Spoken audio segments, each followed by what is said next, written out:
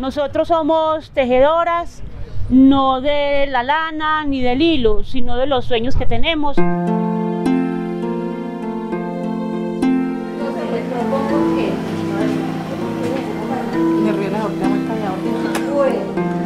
gracias a la espalda de la compañera. Nos vamos a tomar la mano. Entonces,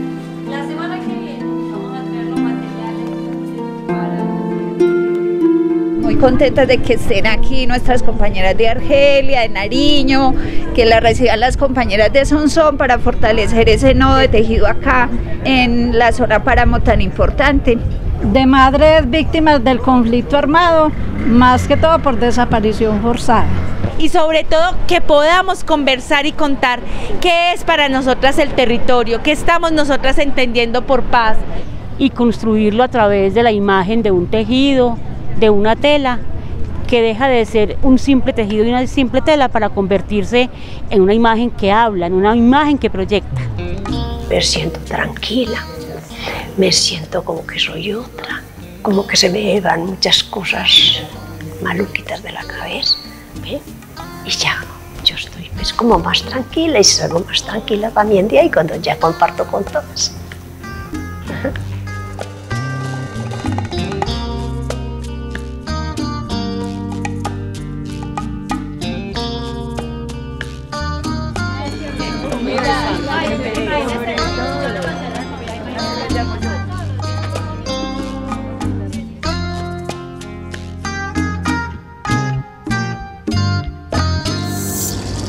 Para mí tejer es como renacer. como tejer la vida. Lo que hacemos con tejer es algo que es eh, literal y metafórico, o sea, literal en el sentido de que realmente tejemos el objeto y metafórico porque en la medida en que tejemos pues nos construimos en relaciones, en vínculos, en encuentros, en palabras. Pues al, iniciar empezamos como que eh, eh, con este material de tripa de pollo que llamamos, que a tejer como puentes, como para saber bien y, que nosotros pues eh, con nuestras mismas palabras sacáramos pues lo que es tejer, lo que es unir, como todo eso alrededor de, pues como esas reflexiones de lo que es tejer. Entre grupos pues y si bordamos piezas con unas canciones que que nos llamaban pues como la atención y de esas piezas fue que participamos en el 2016 en la, en la exposición de la vida que se teje que fue en Medellín y ahí nace la red de tejedoras por la memoria y la vida. dar una calurosa bienvenida al primer encuentro latinoamericano de tejedoras por la memoria y la vida. Con una agenda académica en la que se reunirán aproximadamente 25 procesos de tejedoras y pretendemos consolidar la Red Nacional de Tejedoras por la Memoria y la Vida. Lo que está claro es que esta es una exposición viva que va a tener otras actividades que van a ir transcurriendo y que está el festival. en la transformación cultural que anhela nuestro país.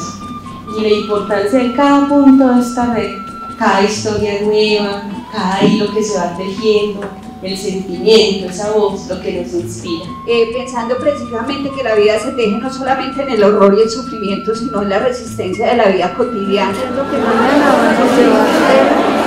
Estamos en el primer encuentro latinoamericano de tejedoras por la memoria y la vida, la vida que se teje. Este es un encuentro de mujeres que están tejiendo alrededor de historias de vida cotidiana, de conflicto armado, de resistencia, de sufrimiento, eh, de afectos, de reconstrucción de vínculos y que vienen de muchas partes de Colombia, que también vienen de otras partes de Latinoamérica y que queremos construir entonces o consolidar más bien la red de tejedoras por la memoria y la vida.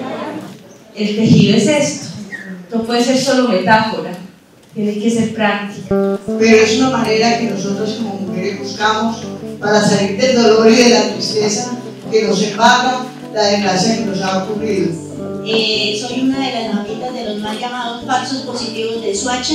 esas situaciones por las que atravesamos los pueblos, las comunidades y en especial las mujeres. El tejido y el bordado ha significado para mí un momento de encuentro, un momento de reflexión.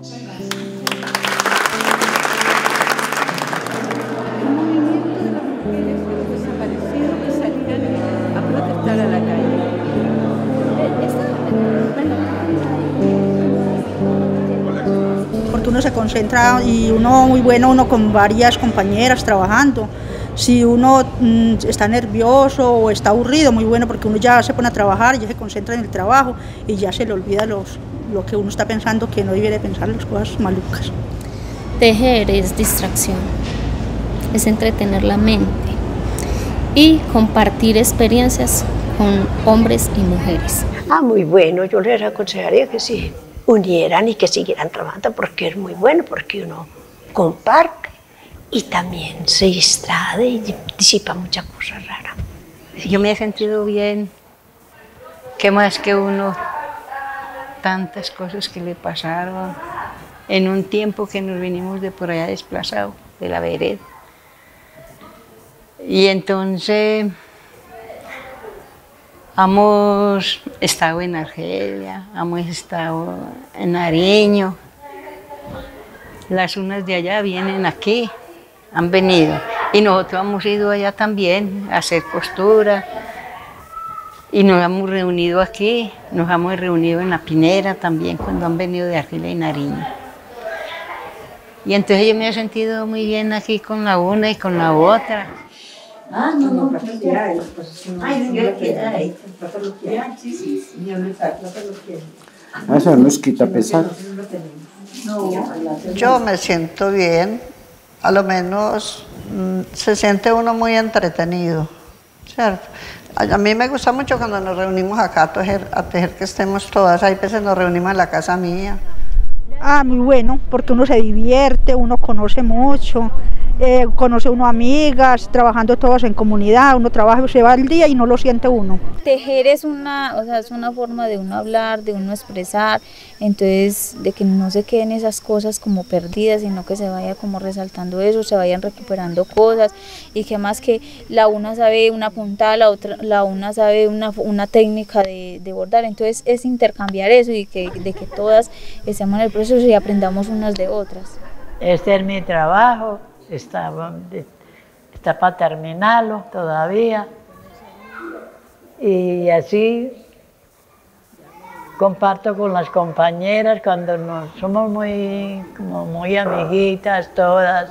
La una ensárteme la aguja, la otra deme nebrita de hilo, la otra páñame la aguja. Bueno, de todo. Y yo, quizá estas compañeras, estas amiguitas, estas organizaciones, yo las he querido mucho, bastante, y ellos me han querido. Porque a veces tejiendo la gente comienza a hablar, a comentar, mi sufrimiento es este y este, y la gente, ya unos, como que el dolor compartido, la gente habla y habla y, y va expresando su dolor. Entonces ahí fue donde empezamos a ver el, el por qué nosotros nos reuníamos, el por qué nos sentíamos eh, bien cuando nos reuníamos, fue donde empezamos a ver que antes nosotros, mm, porque buscamos las telas blancas, las telas negras, eh, los colores negros, entonces ya usamos colores más fuertes, rojo, naranja, colores más fuertes, ya se ve muy poquito el negro no sé si por cultura, por, no sé, siempre es como la que se queda en la casa, encerrada, por el miedo del eh, que lo están criticando, lo están señalando. Entonces, nosotros fuimos las berracas que salimos de ahí. Entonces, para nosotros es muy importante estos encuentros, que tengamos donde reunirnos, que, que tengamos donde trabajar para nosotros no solo para sanarnos nosotros interiormente, sino también ayudarle a otras personas. Y ahorita que también estamos viendo que con lo que hacemos también podemos tener eh, como ayudarnos también en lo económico para nosotros. ¿Qué siento? Alegría, porque a mí me ha gustado toda la vida mucho bobear con agujas. Y yo no, yo ya no voy a volver a contar más tristezas, sino alegrías de lo primero que yo viví por allá. La felicidad, ¿cierto? Claro siente uno alegre la felicidad. Mm. Eh, también inmersa en este proceso de tejedoras de la zona Páramo. Hoy nos convoca en el municipio de Sonsón el Festival del Agua y es muy agradable poder entre mujeres que han pasado la violencia y que quieren pasar esa página de violencia, que queremos dejar de ser víctimas para ser ciudadanas, entrar en este proceso tan hermoso que es construir nuestro territorio como lo soñamos, como lo pensamos, como lo vemos a un futuro. Nos hemos unido a la red porque estamos luchando por lo mismo, por una ciudadanía participativa en temas como la defensa del agua, como la defensa de mejor empleo, como la defensa de una salud como derecho y por la paz